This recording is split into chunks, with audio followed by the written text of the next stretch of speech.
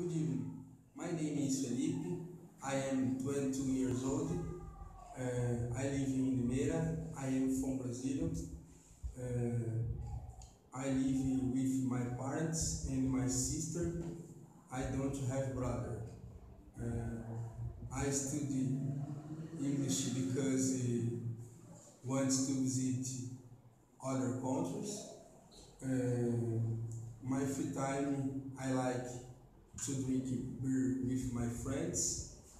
Uh, I like to eat barbecue, uh, pasta, and pizza.